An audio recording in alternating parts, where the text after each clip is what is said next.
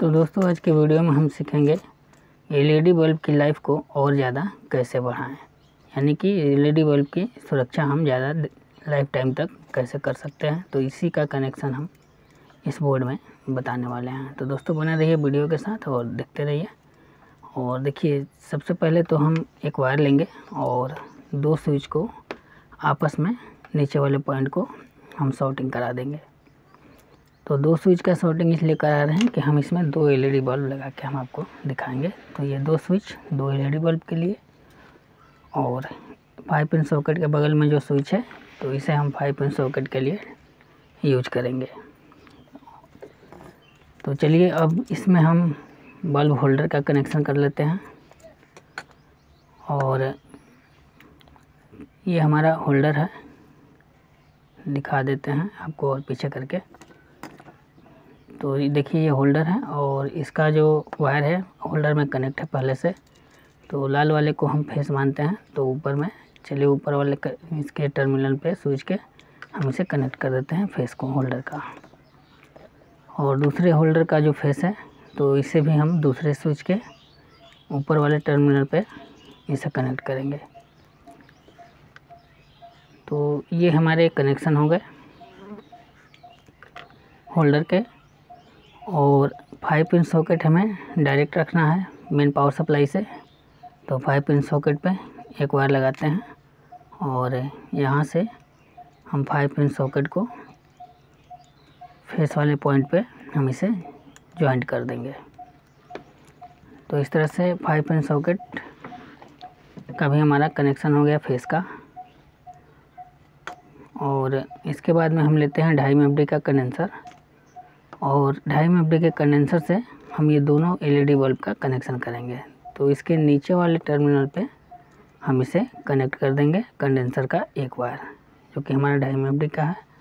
और इस कंडेंसर से दो या तीन बल्ब आप जला सकते हैं। और दूसरा वायर हम कनेक्ट करेंगे फाइव इंच सॉकेट का जो स्विच है तो उसके नीचे वाले टर्मिनल पे। और यहीं पे हमें मेन पावर सप्लाई देनी है। तो मेन पावर सप्लाई भी हम कनेक्ट करेंगे। यानी कि कंडेंसर का वायर और स्विच का नीचे वाला पॉइंट। तो यहीं पे हमें मेन पावर सप्लाई देनी है।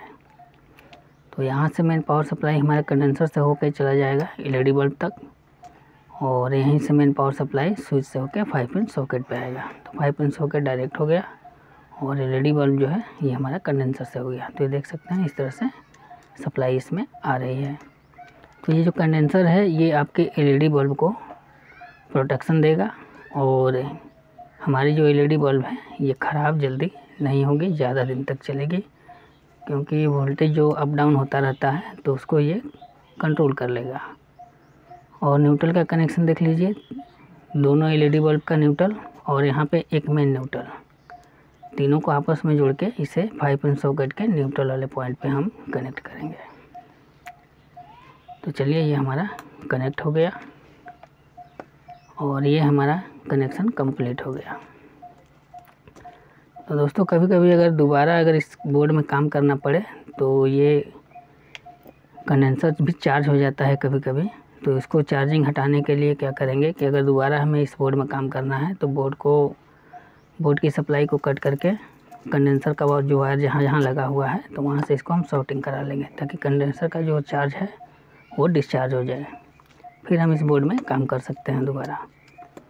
तो चलिए हम इसमें बल्ब लगाते हैं और आपको चेक करके दिखाते हैं। तो एक एलईडी बल्ब है, नौ वाट की और एक ज़ीरो वाट की है। तो हम सिर्फ़ दिखाने के लिए आपको दिखा रहे हैं। वैसे नौ वाट की आप दो तीन एलईडी आप इसमें जला सकते हैं।